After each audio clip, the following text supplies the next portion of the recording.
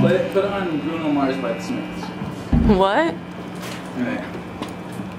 So I gave this this boy a pizza, okay? Um, he deserved it.